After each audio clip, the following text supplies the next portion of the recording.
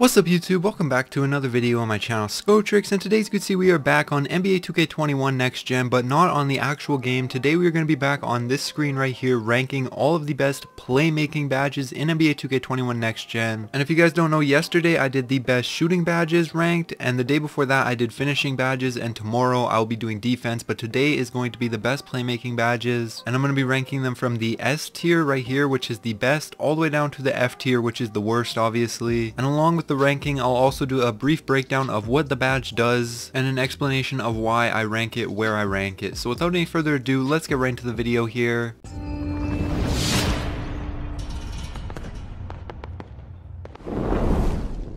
Alright, so the first badge right here we have is Ankle Breaker. I'm going to be going in alphabetical order. So the first one right here is Ankle Breaker.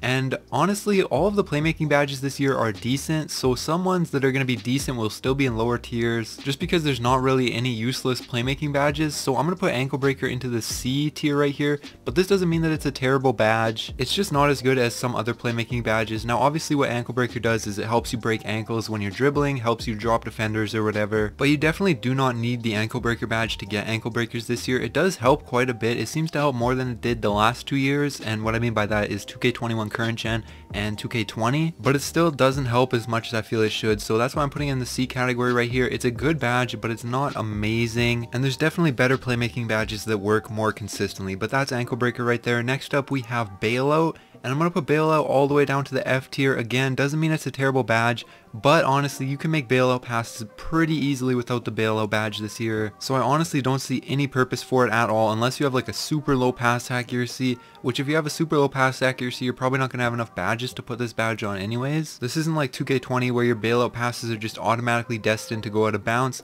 You should be good making bailout passes without the badge, so I'm putting in the F category right here, just because basically every other playmaking badge is better than this one. So it has to go into a low tier right there. But next up we have another badge that's not as good, and that's Break Starter. I'm going to put Break Starter into the E category right here.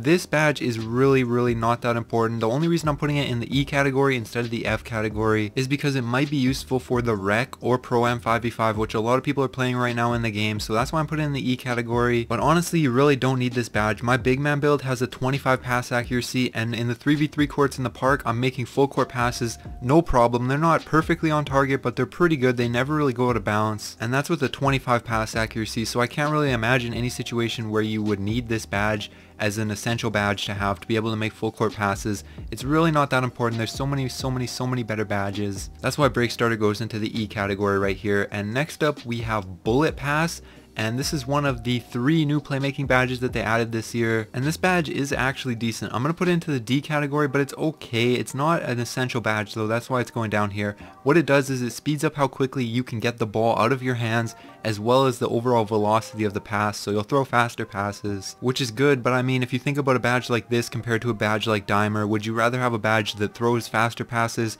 or have a badge that when you throw a pass, the person catches it, they have a higher chance of making it. It seems like a pretty obvious choice that the second one would be a better badge, so I don't really see the point in putting this badge on unless you have at least maybe 25 playmaking badges, then you could definitely invest in this, but it's more of a luxury badge that's good. If you have a ton of badges and you can get all the important ones anyways, but it's not as useful if you can't get the more important badges first. So that's why I'm putting Bullet Passer into the D category right here. And now we have the badge that I just mentioned, and that's Dimer. And I'm to put Dimer into the A category here. And this is a really, really good badge. What it does is when you're in the half court and you throw a pass to somebody who's open and they shoot, it boosts their shot percentage. So that's pretty good. I mean, I can't really think of many playmaking badges that would be more important than Dimer. Because obviously if you are a playmaker and you have a lot of playmaking badges, you're want to be able to make plays for your teammates. And Dimer's probably the most important badge for doing that. And considering that it works good in basically every single mode, this is a super must-have badge for basically any playmaker build in the game. You're definitely going to want to have Dimer onto Gold or Hall of Fame or as high as you can get it. But next up right here, we have Downhill, and I'm going to put Downhill into the C category. This is a pretty underrated badge overall. I think it's really, really good for big men that have decent speed. So if you get like a defensive rebound, you can run down the floor pretty fast and get to the rim a lot faster than a lot of other big men will be able to get back on defense. So Dimer is a pretty good badge, especially with how high you can have your speed with ball on big men and that a lot of people are playing Rec and Pro-Am 5v5, which this is a really, really good badge for. But it's also good for 3v3 in the park. It's basically useless for 2v2 in the park. So if that's what you play, this isn't the badge for you. But for 3v3 Rec, Pro-Am, all of that, that. This is a really, really good badge if you're a big man. Not as much if you're a guard, but it can have a usage if you're a guard.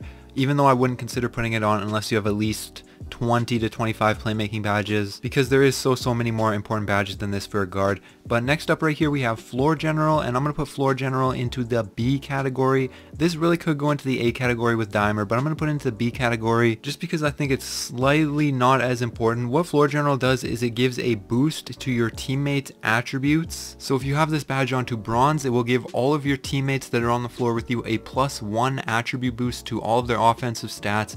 At silver it's plus 2, at gold it's plus 3, and at Hall of Fame it's plus 4. So if they have a 95 three-pointer and you have Hall of Fame floor general on, that's going to go up to a 99 three-pointer for your teammates. So it's a pretty good badge, but not essential for most builds unless you have at least I would say 15 to 20 playmaking badges. And really only one person on the floor needs to have this badge. So if you have like two guards in a 3v3 game or something, only one of them really needs floor general. And if you're playing rec or something, only the point guard really needs floor general. Or maybe you could put it onto the shooting guard or something if he can get it. And that would probably work really good as well. But one thing that Floor General does do is it shows you where your teammates hot zones are. So if you have this badge on and you look at your teammates on the floor, you'll be able to see by their feet a red ring if they're standing in a hot zone. So that's a nice little thing, not too important, but you will know where your teammates hot zones are if you have this badge equipped, which is kind of cool, but again, not too important. And next up right here, we have the first S category badge, and that is going to be handles for days. This is a super, super, super important playmaking badge.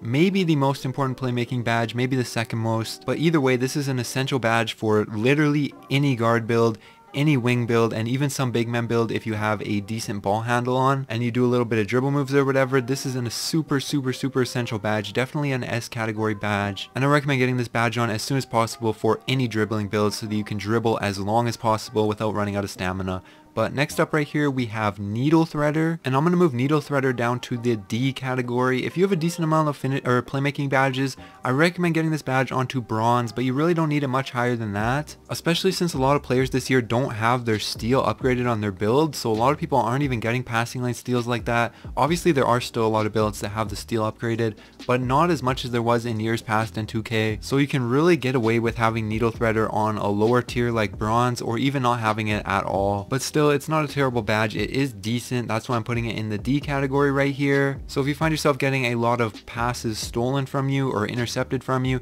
put this badge onto bronze. It should help out quite a bit. And yeah, you should be good. That's Needle Threader. And next up, we have Quick First Step right here. And I'm to put Quick First Step also into the S category. This is a pretty important badge. One of the more important playmaking badges for sure. And it really is important for any build. Whether you're a guard, a wing, a big man, it doesn't matter. Quick First Step is a super, super, super important badge. What it does is when you're driving out of a triple threat or a size up move, it gives the ball handler access to quicker and more effective launches which is pretty important if you're dribbling or even if you're not dribbling, if you're standing in the triple threat stance, you're definitely going to be wanting to launch as fast as possible so you can get by your defender before they have time to react. So quick first step is a super important badge, definitely S category badge, and I recommend getting on for every single build. Next up right here, we have Space Creator. I'm going to put Space Creator into the C category. It could go into the B category.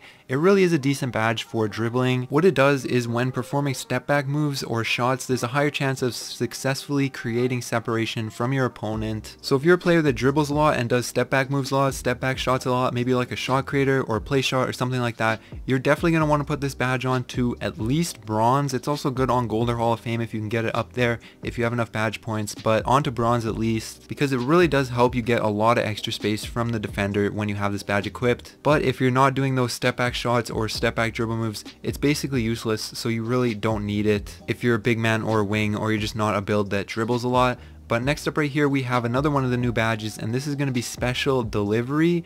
Now, I'm going to put special delivery into the B category. It is sort of a specific badge that you can kind of decide if you want. Basically, what it does is it gives a takeover boost to both you, the passer who has the badge equipped, and the receiver after you throw a flashy pass to them. So that's really, really good. Obviously, a lot of these takeover badges are pretty good, and this one's no different. It is a pretty good badge, but it only works specifically for certain builds who are willing to throw flashy passes. If you're not willing to throw flashy passes, you probably don't need it because it really won't do anything to help you out. But another thing that this badge does is it increases alley-oop throw success and shot chance for receivers after a flashy pass. So that's decent as well, but really the most important thing about having this badge is the takeover boost that both you and the person who catches the ball will get. So it's not like flashy passer from last year where only the person who catches the ball and scores will get the takeover boost the person who passes the ball also gets it. So that's really, really good. But again, if you're not even throwing flashy passes in the first place, you probably don't need this badge. But next up right here, we have stop and go. And I'm going to put this one pretty low right here. I'm going to put it down to the E category. I'm personally not a big fan of stop and go. And a lot of competitive players never really use this badge at all. Not because people don't want to stop and go fast. Obviously, that would be really, really good if that's all the badge did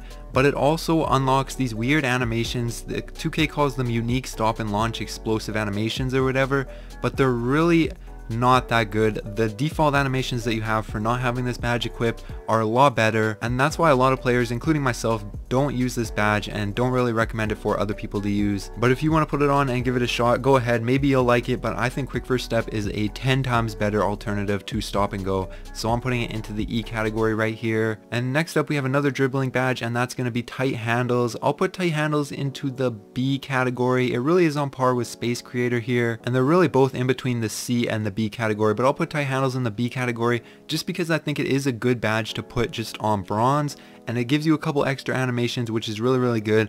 I don't like putting it up to Hall of Fame all the way because it unlocks pro dribble moves, or sorry, park dribble moves at Hall of Fame, which are all those crazy fancy dribble moves that you see your player do sometimes or that you've seen your player do sometimes in the past.